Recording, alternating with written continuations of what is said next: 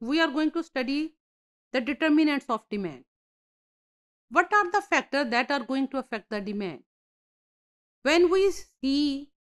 that the consumer is having different level of the quantity demanded at various places at various times or due to any other factor so we are in a need to evaluate that what are the factors that can cause the consumer to shift its demand. Now I have used the word of shift. When we say the change in the price, we say due to the change in the price, how consumer is going to change in the demand. But when we see the demand, it is affected by the various factors. So when these factors, they will change this change will not only cause a particular shift of the one commodity, they have the ability to totally shift the consumption bundle or the total shift of the consumer.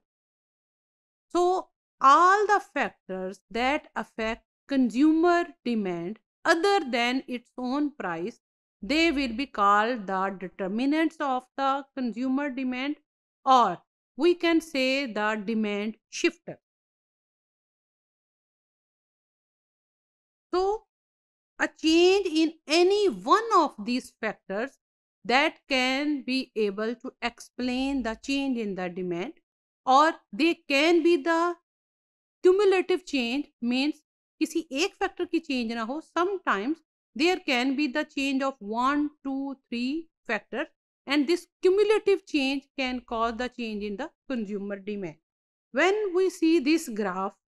we can see that this is not the indifference curve, rather it explains the relationship of here the price and here it is the quantity demanded. So, relationship between the price and the quantity, this is the change in the consumer demand and I can draw various bundles on this. So, this will be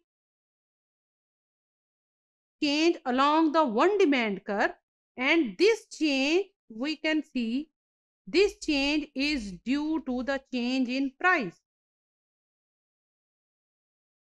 But when we include many other factors that they cause the change, so that change will not be along this demand curve. Rather, now this demand curve will be either shifted towards this or there is a possibility that this is shifted toward this side in the decrease. So if we take this central demand curve that is exhibited here, there is the case that this is on the right side means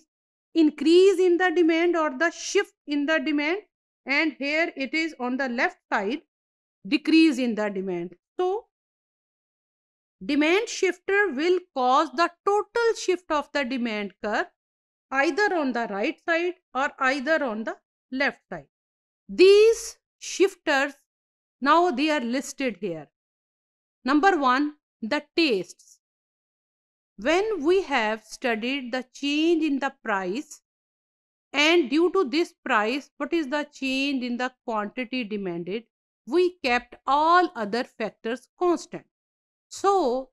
these factors now we will include their effect. So, when we will include the change in these factors, now we will not include the change of the price. Means जिस तरह हमने जब quantity की तलब में जब हम price के साथ देख रहे थे तो इन तमाम फैक्टर्स को कांस्टेंट अज्यूम किया तो जब हमने अब इन तमाम फैक्टर्स की वजह से डिमांड की शिफ्ट को असेस करना है तो हम कंज्यूमर की, उस क्वांटिटी को, जिसकी डिमांड को हम ज़िक्र हम उससे रिलेटेड उसकी प्राइस को कांस्टेंट अज्यूम करेंगे, ताकि सिर्फ़ अब ये वाले जो पॉइंट्स है हमारे सामने आए। सबसे पहला पॉइंट है हमारे पास टेस्ट मोस्टली हम अज्यूम करते हैं कि कंज्यूमर हमेशा अपने टेस्ट को कांस्टेंट रखता है because it is required through the consistency part but this test it may vary from one time to other और this test may evolve with the passage of time or over the aging and likewise today's life when there is a huge influx of marketing or the branding that can change or influence the, the consumer's rational behavior or the consumer's taste can change. So when we see the other things, there are the number of buyers and the income. Here the number of buyers means if there will be the increase in the number of the buyers in the market in that form. So when there will be more and more buyers in the market, it means that increase will also cause the change in the demand because there will be possibility that the competition will enhance and due to that competition the market price may change or the if the price is not going to change people they are going to behave differently sometimes people have the behavior that they are going to purchase that thing that is mostly adopted by many people तो if the behaviour of the people is like this कि वो follower of other है तो जब बहुत सारे लोग उस चीज़ को इस्तेमाल करेंगे तो वो अपनी डिमांड को बढ़ा देते हैं एंड लाइक दिस कुछ लोगों को हम स्नॉबिश गिनते हैं तो वो अपने डिमांड को रिड्यूस कर देते हैं जब वो देखते हैं कि वो कमोडिटी को परचेज करने वाले ज़्यादा लोग। लाइक दिस कंज्यूमर की इनकम तो कंज्यूमर की नॉमिनल इनकम अगर बदल जाती है और उसके बजट लाइन एनहांस हो जाता है तो उसके पास क्वाइट पॉसिबिलिटी है कि वो अपना